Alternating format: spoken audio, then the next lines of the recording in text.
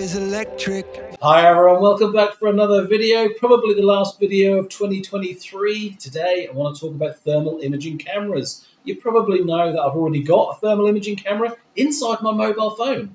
Um, I've got a Doogee V20 Pro which has an inbuilt thermal imaging camera. So when I was offered the opportunity to test these from Topdon, TCView 001 and 002 for Apple for the Lightning connectivity and for Android with the USB C connectivity. I was given the opportunity to try these, so I thought I'd see whether they're any good and how they compare to the mobile phone that I've got from Doogee. Actually, they're, they're similar prices for the mobile phone which has it inbuilt or for one of these that plug into your either tablet or mobile phone. So, from a non professional point of view, I'm not an expert at uh, thermal imaging, I'm not an expert with cameras, etc. Let's see what you get inside the box, how easy it is to connect, and how easy they are to use. Keep watching until the end of the video, because at the end of the video, I'm going to tell you how you could win one of these. Well, I'm going to choose someone randomly to give away one of these two. Um, I've got an Android device that uh, this will work well with, but I don't have an Apple device. So, because I've been sent both, I'm going to give away the Apple version. So, with the video stream sped up a bit because we don't want to waste time watching me unbox something, especially when I'm so clumsy at it sometimes. Inside the cardboard box, there's a little hard case. It also comes with an instruction booklet, which basically is like one of these um, put together IKEA jobs, you know, instructions one to five. And basically, all it is is uh, download an app on your mobile device. Inside the hard case, that's what you get the Topdon plug in infrared camera with a USB adapter cable and a screen lens wipe.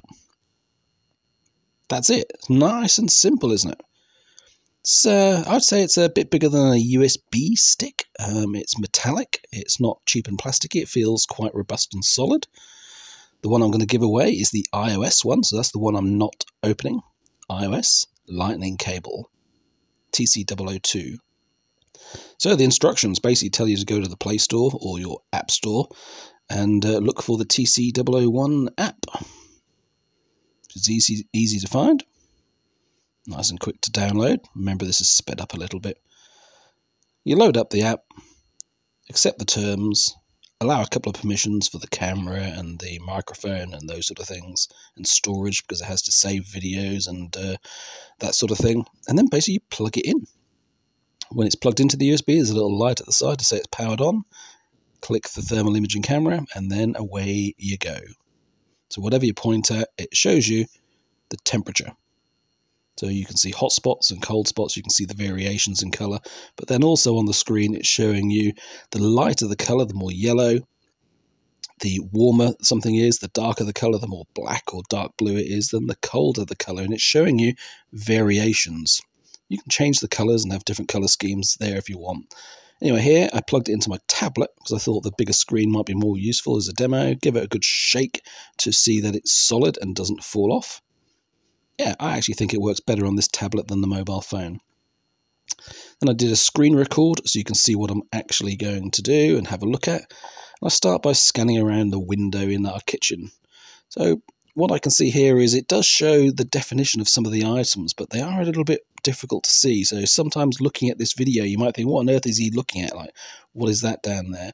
But what I'm looking for are hot spots or cold spots. So there's a uh, an Amazon plug that's in use, and as you can see, it's warm. It's bright yellow.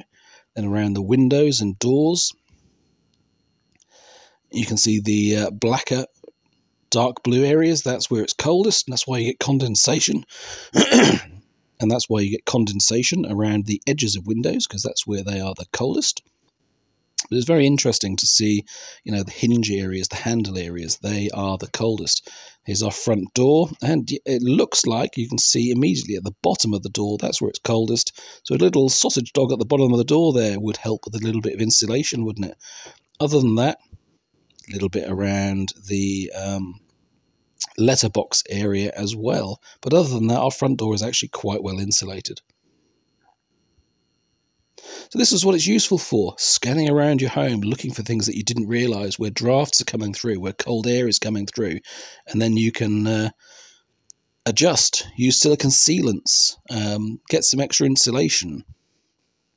You can do whatever it takes to improve the uh, thermal efficiency of your home. And that's where these devices are really, really useful. And it's also fascinating to have a look around. It's amazing what you can find useful, whether it's wildlife you're looking at, whether it's cars, heaters, anything you want, really. So as I scan, I don't know where I'm going to scan here. Do I scan up and look at the heater? Yes, I do. There's my air conditioning heater, so a Toshiba heater, and it's outputting 32 degree uh, air by the look of that, while the uh, wall below it is 17 degrees. Interesting one of the light socket, the actual connector is warm because this is an LED bulb, so the bulb itself isn't getting warm. So, going back to the original question, how does this compare to the uh, thermal camera in my mobile phone? I've got to say, effectively, they're both the same. The mobile phone app, though, is a little bit better that it blends an actual image and shows you a drawn line image of what you're looking at, as well as the thermal imagery. So I find the mobile one that I have just a fraction better. Thank you so much for watching, everyone. I hope you enjoyed that. And if this appeals to you after seeing this video, then I'm going to be giving one of these away. The Android one is fine for me. But this iOS one, I don't have any iOS devices, so I'm going to be giving it away. All you've got to do is get yourself over to Twitter or X, whatever it's called now, send me a direct message and let me know what you would use it for. Obviously, you need an Apple iPhone with Lightning connector for this to work. But send me a message, let me know what you'll use it for, and uh, I'll choose someone at random. Not really a competition, but somebody that's watching my videos, following me over on Twitter. I want to share the love around. I've got two of these, I'm going to give one away and cheer someone up in the new year. Thanks again for watching. Take care. See you again soon for more energy related videos. Next one, uh, I think I'm going to be talking about export. Something really, really exciting has been happening, and I sort of watch it every day now. The data is interesting to me, and the changes that I'm having to make are fascinating me as well. So if you love the detail of all those sort of things about energy, prices, data, and uh, the right efficient tariffs, then yeah, that video is going to really appeal to you. Take care. See you again soon. Bye for now.